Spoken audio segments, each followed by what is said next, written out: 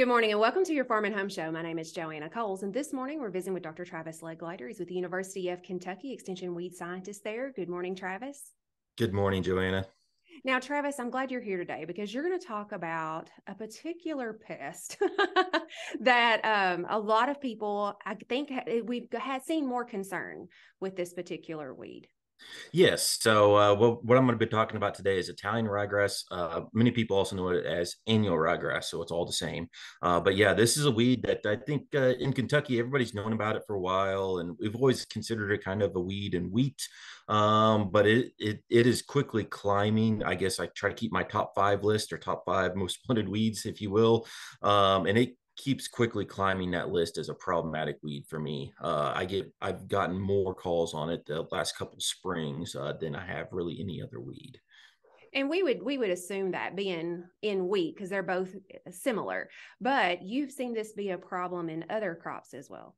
Yes, yeah. So, like I said, in wheat, it's, it's obvious because they're both winter annuals, right?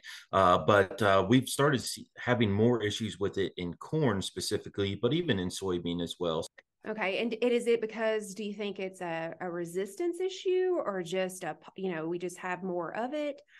What might be the the underlying cause there? So I think it's a little bit of all that plus some other things. So uh, we do we do have glyphosate resistant ryegrass in the state now. So we've now confirmed three populations within the state, and those are kind of scattered throughout the state. It's not like it's just in one area. So uh, you know they're scattered throughout the state where we found them and we've gotten multiple other complaints from guys uh, that have had failures uh, on ryegrass with multiple applications of glyphosate so we haven't been able to confirm those as resistant, but uh, we're sure there's more of it out there than those other three populations.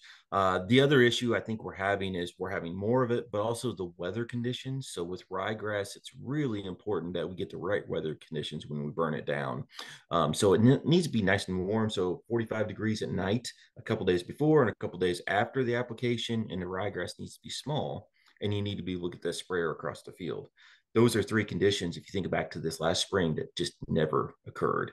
And so it caused a lot of issues um, and i think that's something that really contributed to some of the failures we've had the last couple of years and the other thing we need is we need to make sure we have glyphosate in the tank. So last year we had a glyphosate shortage, so that didn't help either. A lot of guys were trying things without glyphosate, saw a lot of failures with that. So, um, and when you're spraying glyphosate, we need guys to be using at least a pound and a half of glyphosate. That's a lot of glyphosate. That's more than we typically use in burn downs. But for ryegrass, we've shown you have to have that rate to be effective, and those weather conditions to be really be effective against ryegrass. So we prefer that ryegrass to be less than six to eight inches tall. If a farmer knows that they've had ryegrass issues, it's probably good to go ahead and get on that early as possible. If you know you have a problem, catching that window is eh, very important. Yes, yeah. So if you can, if we start getting some warm days uh, into February, March, um, getting on top of those populations will really help you out quite a bit. So um, make sure you have a plan. Uh, the other thing you can do, it's too late for this year, but going into next fall, if you have some bad fields, uh, we do have products you can put on in the fall as well as a residual to help you out. And then you'll probably still need to burn down in the spring, uh, but uh, it, you can check into some of our corn and soy newsletters to see where we've uh, highlighted some of those products you can use in the fall.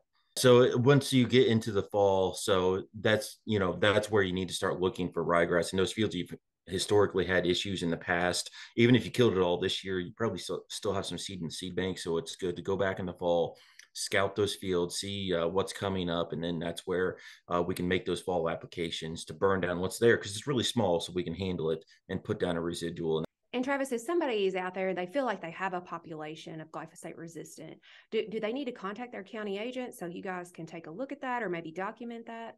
Yeah, so if if you uh, are struggling with ryegrass or you've sprayed it a couple times and can't control it with glyphosate, uh, let your agent know um, so they can let us know. Uh, unfortunately, right now we're kind of limited on how much we can test, uh, but uh, we can at least document it, and we can even uh, possibly come to field and, and walk through the possibilities of that. Now that we've confirmed three populations, we know it's out there. Um, we'll tr- continue to kind of look, but if you failed multiple times with glyphosate, the best thing to do is try something different. Uh, don't wait for us to tell you it's resistant. All right, Travis. We'll certainly appreciate the information. And if you have questions, make sure to contact your local extension office. Thanks for watching and have a great day.